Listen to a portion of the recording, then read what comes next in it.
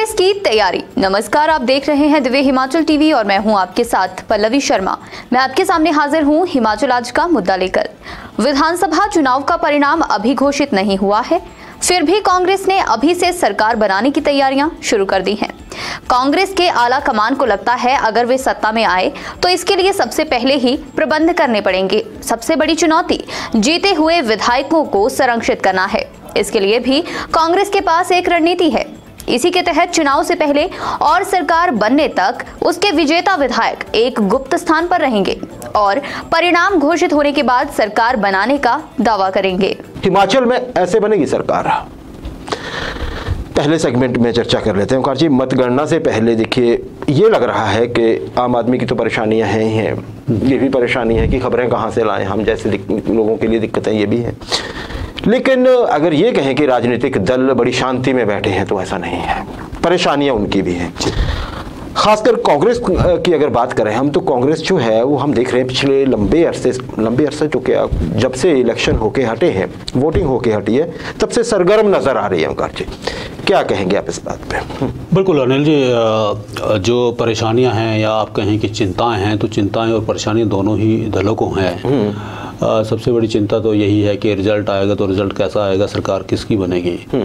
पर अगर हम बात कांग्रेस की करें तो हम्म। कांग्रेस की सबसे बड़ी चिंता और सबसे बड़ी परेशानी ये है कि अगर वो जीत जाते हैं तो कहीं तोड़फोड़ तो नहीं होती है। हम्म। ये आशंका कांग्रेस बार बार उसके लीडर्स बार बार उठा रहे हैं बार बार इस आशंका को वो व्यक्त कर रहे हैं। तो कांग्रेस ने इस आशंका के निवारण के लिए अब एक बड़ी योजना जो जी ओंकार जी मैं योजना पे आता हूँ योजना पे आता हूँ मैं। आपने बात कही कि तोड़ तोड़फोड़ की आशंका की बात है और इससे पहले आप ये देख लीजिए कि कांग्रेस ने यह भी कहा कि कहीं ईवीएम से छेड़छाड़ तो नहीं हो जाएगी। और फिर उसके बाद जो सारा घटनाक्रम हुआ अपने लोग इन्होंने बिठाए कई जो जहाँ पे लगा कैंडिडेट्स को कि यहाँ कुछ ऐसा ना हो जाए। हम्म। चुनाव आयोग ने भी कहा कि हाँ ठीक है आप कर सकते हैं। हालाँकि भाजपा की ओर से उस पर आपत्तियाँ जताई गई कि नहीं जी ऐसा नहीं होगा। लेकिन फिर चुनाव आयोग ने कहा कि नहीं नहीं ऐसा किया जा सकता है। वो सारी चीज़ें। या फिर आप ये देखिए कि कांग्रेस जो है वो नेताओं की दिल्ली दौड़ मुख्यमंत्री कौन बनेगा ये सारा कुछ सब कुछ। लेकिन आपने तोड़फोड़ की बात की ओंकार और साथ ही साथ कांग्रेस ने यह भी कहा कि तोड़फोड़ का अगर आप इंडायरेक्टली इंडायरेक्टली क्या? कांग्रेस के नेताओं ने सीधे कहा कि खरीद फरोख्त भी हो सकती है। हम्म, बिल्कुल। मतलब उनका अपना अनुभव होगा या कांग्रेस को ऐसा लगता होगा। अब इसी को ध्यान में रखते हुए पार्टी ने एक योजना बनाई है जी कि जितने भी इनके विजयी विधायक होंगे ना जी हम्म। उन्हें कुछ ऐसा किया जाएगा उनके साथ कि उन तक कोई विपक्ष का आदमी या कोई ऐसा आदमी जो तोड़फोड़ करना चाहे भी वो पहुँच ही ना पाए योजना क्या है जरा बताइएगा बिल्कुल अनिल जी योजना ये है कि देखिए कांग्रेस की रणनीति का ये हिस्सा भी हो सकता है कि चुनाव परिणाम से पहले और चुनाव परिणाम के बाद सरकार बन जाने तक उसके जो जीते हुए विधायक होंगे हम्म। तो उनको जो है वो आ, आ, किसी भी विधायक को, को किसी के भी संपर्क में आने नहीं दिया जाएगा हम्म। तो ऐसा बताया जा रहा है कि वे अपने जो मुख्य उसके कांग्रेस के पर्यवेक्षक हैं उनकी देखरेख में ये विधायक रहेंगे हम्म।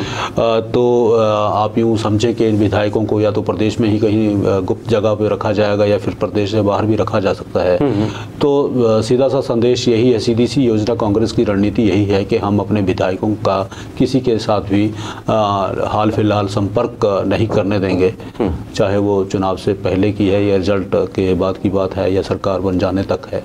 तो ये एक ही योजना है। जी मैं दर्शकों को बताऊँ देखिए जो ओंकार जी कह रहे हैं इसमें चीज़ ये है कि तोड़फोड़ कब होती है? देखिए उससे पहले तो नहीं होगी जब तक इलेक्शन के रिज़ल्ट नहीं आ जाते। रिज़ल्ट आएँगे आठ तारीख को। उसके तुरंत बाद अगर ज़रूरत हुई तो कांग्रेस ये कर सकती है। जो कि इनपुट आ रही है सामने या जो चर्चाएँ हो रही हैं उसमें एक चर्चा जो बड़ी जिसपे बहुत एक बड़े ज़ोर दे के ज़िम्मेदारी से चीज़ें कही जा रही हैं सभी की ओर से। उसमें जो हमें पता चला वो हम आपको बताते हैं। इसमें ये है जी कि जीतने के बाद कांग्रेस के विधायक जब तक सरकार नहीं बनती है, तब तक उनको थोड़ा देख रेख में निगरानी में रखा जाएगा। ऐसा नहीं कि उन पर विश्वास नहीं है, लेकिन ऐसा भी कि किसी भी तरह के वो दबाव के सामने ना आ पाए। या तो उनको मतलब किसी ऐसे स्थान पर रखा जाएगा। प्रदेश में शायद ही ऐसा संभव हो पाए कि किसी ऐसी जगह कोई ऐसी जगह हो जहाँ पे अगर कांग्रेस को ऐसा लगता है, जो कांग्रेस सोच रही है, जैसे इनपुट है हमारे पास। तो फिर एक ही तरीका बचता है, जो हम अन्य प्रदेशों में देखते हैं। हिमाचल में अभी हमने देखा नहीं, लेकिन वो तरीका ये कि विधायकों को कहीं और दूसरे राज्य में शिफ्ट कर दिया जाए। अब दूसरे राज्य कहाँ जहाँ भाजपा है वहाँ नहीं ले जाना चाहेगी कांग्रेस कभी भी। तो फिर ऐसे एक दो राज्य हैं जो हो सकते हैं राजस्थान हो सकता है लेकिन राजस्थान इसलिए नहीं क्योंकि वहाँ पे आपको पता है कि वहाँ फिर से कांग्रेस में वो हो मुख्यमंत्री को लेके हो गया पायलट साहब के बीच में और है ना जी? तो मुख्यमंत्री साहब के बीच वहाँ अब फिर से कल से या परसों से आप विवाद देख ही रहे हैं तो कांग्रेस ये माना जा रहा है कि राजस्थान को रूल आउट करेगी। अब अब बचता छत्तीसगढ़। है अब छत्तीसगढ़ ही क्यों? देखिए, जो चुनाव पर्यवेक्षक थे, भूपेश बघेल साहब मुख्यमंत्री छत्तीसगढ़ के, उन्होंने पूरी उनकी देखरेख में हुआ है अगर कांग्रेस जीतती है तो उनके सिर पे बड़ा आशा, सेहरा सजने वाला है इस वजह से। तो ये माना जा रहा है कि छत्तीसगढ़ ले जाया जा सकता है इन विधायकों को, जब तक की सरकार बना नहीं लेती है कांग्रेस। तो अच्छा अच्छा अगर ये बात सही है तो क्या इसका अर्थ ये नहीं हुआ कि देखिए कांग्रेस का हर नेता डे वन से इलेक्शन के दिन से ही ये बोल रहा है कि जी कांग्रेस तो हर सूरत जीत रही है। तो जीती हुई पार्टी को ऐसी कोई ज़रूरत नहीं होती है। ये तब है जब इम्बेलेंस थोड़ा सा हो शायद इधर शायद उधर हल्का फुल्का कुछ इधर उधर का हो। तो क्या लग रहा है आपको? कुछ कांग्रेस को लग रहा है कि कहीं चीज़ें फंसी हुई हो सकती है अभी भी? बिल्कुल अनिल जी शक यही है कि भाजपा जो है वो कुछ भी कर सकती है। कांग्रेस से ये आरोप लगाती आ रही है लगातार आरोप लग रहे हैं। और दूसरी तरफ़ आप देखें कि भाजपा ने मिशन रिपीट का जो है वो एक बड़ा दावा किया है बड़ा नारा बुलंद किया है। तो भाजपा पर कांग्रेस ये जो आरोप लगा रही है कि भाजपा वाले जो हो सकता है ईवीएम के साथ छेड़छाड़ करें या छेड़छाड़ की जा सकती है।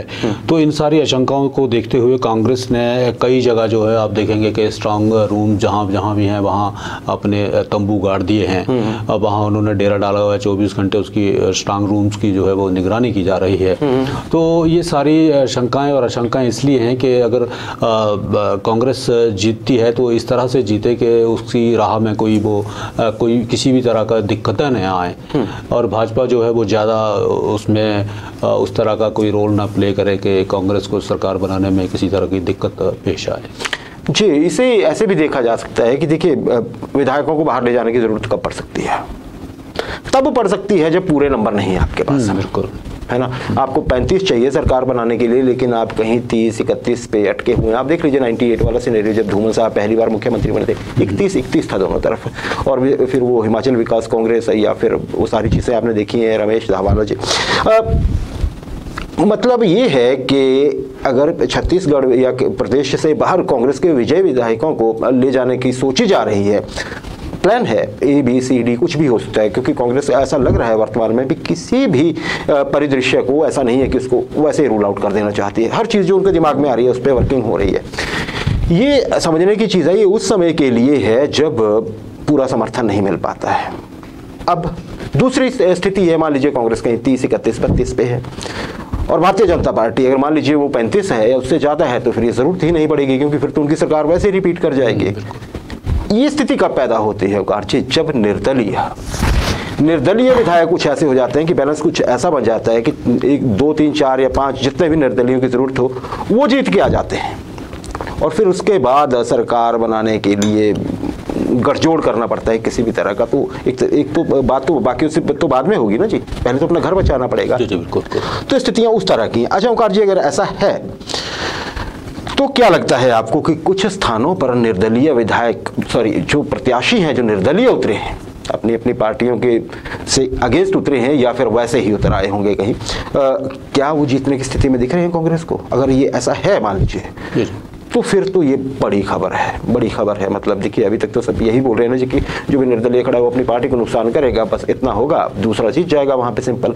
लेकिन अगर कांग्रेस इस तरह से प्लान बना रही है तो निर्दलीयों पे भी हमने पहले भी देखा कि निर्दलीयों से संपर्क करने के प्रयास किए जा रहे हैं दोनों ही पार्टियों की ओर से। कैसे देखते हैं आप निर्दलीयों की स्थिति को बिल्कुल अनिल जी ऐसा है कि अगर निर्दलीय मज़बूत स्थिति के साम, साथ सामने आते हैं मज़बूत होकर उभरते हैं जीत जाते हैं हम्म। तो ये दोनों ही पार्टियों कांग्रेस और भाजपा के लिए के लिए जो है वो आँख का तारा बन जाएँगे हम्म। और दोनों ही पार्टियाँ चाहेंगी कि जिस जिस भी पार्टी को उनकी ज़रूरत पड़ेगी हम्म। तो वहाँ इनको लिया जा सकता है और पहले जैसे आपने ज़िक्र किया कि कांग्रेस तो निर्दलियों के संपर्क में पहले से ही है और चाहे वो निर्दलीय कांग्रेस के हों या या फिर भाजपा के हों तो दोनों ही पार्टियों के जो हैं उन निर्दलियों से एक संपर्क साधा जा रहा है।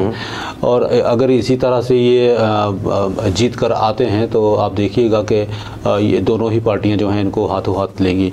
बहरहाल हमें 8 दिसंबर जब रिज़ल्ट आएगा तो उसके बाद ही स्थिति जो है वो स्पष्ट हो जी जी ये किन किन सीटों पे अभी निर्दलीय जो हैं वो बड़ी चर्चा में रहे हैं ओंकार जी आप हमारे दर्शकों को बताइए सर देखिए सबसे पहले तो मैं बिलासपुर सदर की बात करूँ हम्म। तो बिलासपुर सदर में भाजपा के ही एक वरिष्ठ नेता हैं सुभाष शर्मा। तो सुभाष शर्मा एक अच्छी स्थिति में वहाँ उठाए जा रहे थे। फिर अगर हम हमीरपुर की बात करें तो हमीरपुर की जो बड़सर विधानसभा क्षेत्र है वहाँ संजीव शर्मा है। तो संजीव शर्मा भी एक अच्छा होल्ड रखते हैं। इस, इसी तरह सुंदर नगर देखा जाए या फिर मनाली में हम देखें तो यहाँ कुछ ऐसे गिनी चुनी गिनी चुनी विधानसभा क्षेत्र हैं जहाँ निर्दलियों का एक अपना जनाधार है और वो एक अच्छी टक्कर जो है वो पार्टी प्रत्याशियों को देने की स्थिति में दिख रहा है। जी बिल्कुल देखिए अभी तो चुनाव के बाद ही पता चलेगा निर्दलीय कितना दम दिखा पाते हैं लेकिन आपने कुछ नाम बताए। हाँ वो आप देखिए सुंदरनगर की आपने बात कर ली या फिर आनी विधानसभा क्षेत्र में दो पार्टी के ही पूर्व वो है ना जी वो उतरे हुए हैं आपस में मतलब हम उनकी चर्चा कर ले जिन्होंने बड़ा ज़ोर लगाया है बंजार में बहुत ज़ोर निर्दलीय प्रत्याशी जो उम्मीदवार उतरा है वहाँ पे उसने लगाया। या आप कांगड़ा में भी एक आधी सी एक आधी या दो सीटें आप देख हाँ, लीजिए हाँ, है ना। आप चाहे वो फतेहपुर की बात कर लीजिए या फिर आप कर लीजिए जयसिंहपुर की बात। है ऐसे ही मतलब कुछ सीटें ऐसी हैं जो चर्चा में रही। हैं आप नालागढ़ की बात कर लीजिए के ठाकुर साहब वहाँ चर्चा में रहे हैं। आपकी अपनी आप अगर आप बात करते हैं तो सोलन में अर्की विधानसभा क्षेत्र की बात देख लीजिए आप चाहे या कहीं और भी और भी ऐसा है ठियोग में या बाकी और जगह शिमला में भी। तो अगर कांग्रेस ऐसा सोच रही है तो ऐसा सोचने में कोई मतलब ये जो हमारी एक्सपर्ट से बात हुई है ये कोई बुरी बात तो है नहीं क्योंकि सरकार बनानी है। अगर मान लीजिए ज़रूरत पड़ती है तो हर कोई ज़ोर लगाएगा और कांग्रेस सिर्फ़ कांग्रेस ही नहीं उकार बिल्कुल। इसमें भाजपा भी संपर्क कर रही है किया गया है।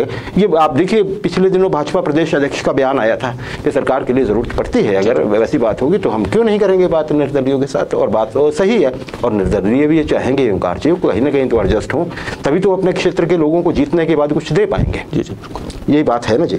अच्छा ओंकार जी ये तो चलिए हमने चर्चा की कि सरकार कैसे कैसे बन सकती है हिमाचल में लेकिन भाजपा के वरिष्ठ नेता हैं जी शांता कुमार साहब, कोई उनको परिचय की ज़रूरत नहीं है कि हम दर्शकों को उनका परिचय बताएँ। अच्छा जी, उन्होंने जो वर्तमान समय में प्रदेश या देश में जो राजनीतिक परिदृश्य होता है ना चुनाव व्यवस्था का, उसे लेके बड़ी गहन चिंता प्रकट की है ओंकार जी।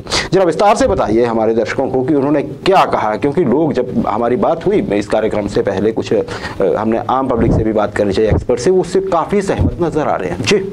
बिल्कुल अनिल जी, शांता कुमार जी जब भी कुछ बोलते हैं या लिखते हैं या देखते हैं तो लोग उनको बड़े संजीदा होकर सुनते हैं, देखते हैं। आज उनका एक बयान आया है और बयान बहुत बढ़िया है, पर थोड़ा सा उन्होंने ये बयान हिमाचल के संदर्भ में देखा जाए तो बड़ा देर से बयान दिया हुआ है, पर बयान बहुत गौरतलब है। उन्होंने कहा है कि लोकतंत्र नहीं हो रहा है, यहाँ चुनाव तंत्र हो रहा है। तो उन्होंने उदाहरण दिया कि हिमाचल के संदर्भ में देखा जाए तो इस चुनाव में जो है वो 500 करोड़ रुपए खर्च कर दिए गए। तो 500 करोड़ रुपए खर्च करने की ज़रूरत नहीं थी, चुनाव लड़ा जाए तो चुनाव को इतना महँगा नहीं किया जाना चाहिए।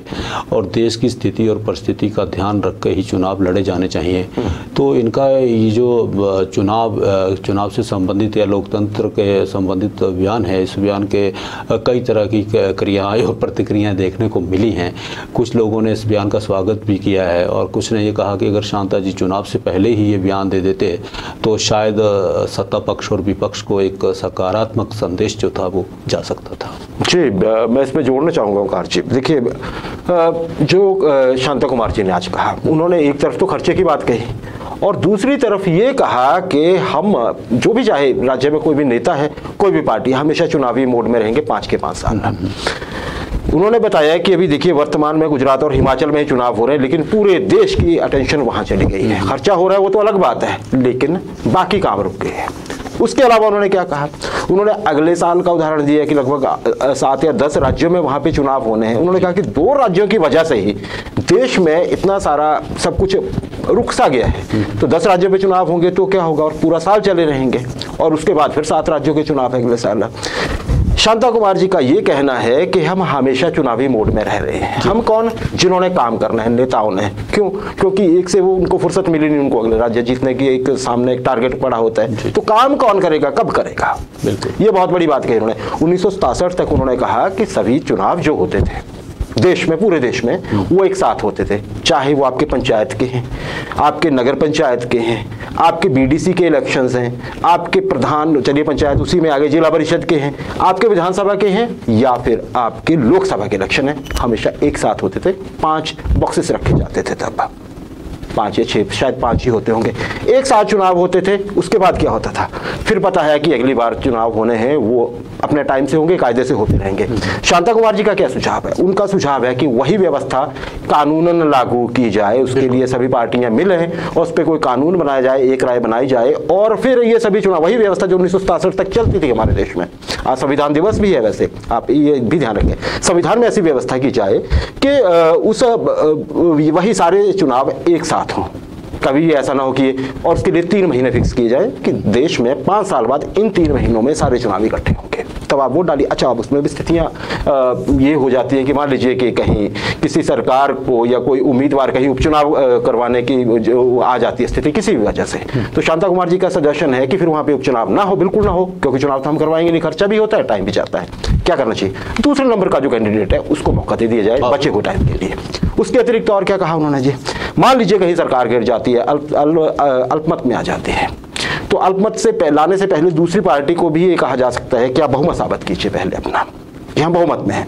फिर भी अगर मान लीजिए सरकार गिरती है और दूसरी बार नहीं बन सकती है तो शेष समय के लिए वहाँ पे राष्ट्रपति शासन लागू रखा जाए। उतने ही समय के लिए जितना टेन्योर है क्योंकि जैसे अमेरिका में आपको पता है, फिक्स है वहाँ पे डेट। चार साल बाद 20 दिसंबर को मान लीजिए राष्ट्रपति का चुनाव होना है तो होना है, और जनवरी में उन्हें शपथ लेनी है चार साल बाद तो उसी डेट को लेनी है। जैसे मंगलवार वो शायद सेकंड मंगलवार होता है जो भी है तो वहाँ दिन डिसाइड है। और देखिए वहाँ पे कभी कोई परेशानी नहीं हुई। ये हम ये जो दिक्कत है ये अमेरिका का जो एक व्यवस्था है राष्ट्रपति प्रणाली उसमें नहीं आती है लेकिन संसदीय प्रणाली की एक खामी है बड़ी कि यहाँ पे आपको बार बार चुनाव करवाने की ज़रूरत महसूस होती है। अगर हमने यही प्रणाली चलानी है ज़ाहिर है हमारे नेताओं ने हमारे फोर फादर्स ने यही चुनी है तो फिर इस व्यवस्था को थोड़ा ठीक करना होगा। अदरवाइज़ पाँच साल चाहे किसी की सरकार है पार्टियाँ चुनावी मोड में रहेंगी काम कब करेंगे हम लोग जनता के काम होंगे कब? आप खुद देख लीजिए आप हिमाचल की बात कर लीजिए। यहाँ पे शांता कुमार जी ने कहा पाँच करोड़ लगा चाहिए है ना जी? अब थोड़े दिनों बाद लोकसभा के चुनाव आ जाएँगे या कुछ और भी। कुछ ऐसी व्यवस्था होती है मान लीजिए यहाँ पे किसी आदमी को ऐसी पोजीशन दी जाती है जो अभी चुन, चुना हुआ नहीं है तो छः महीने में एक और मौका आ जाएगा कि जी चुनाव करवाइए आप। ये कुछ इस तरह से बहुत सारी व्यवस्था है जो हम आम आदमी शायद ध्यान नहीं देता है लेकिन उससे बहुत ज़्यादा खर्चा होता है। टाइम का भी और पैसे का भी। और स्टेक पे क्या होता है?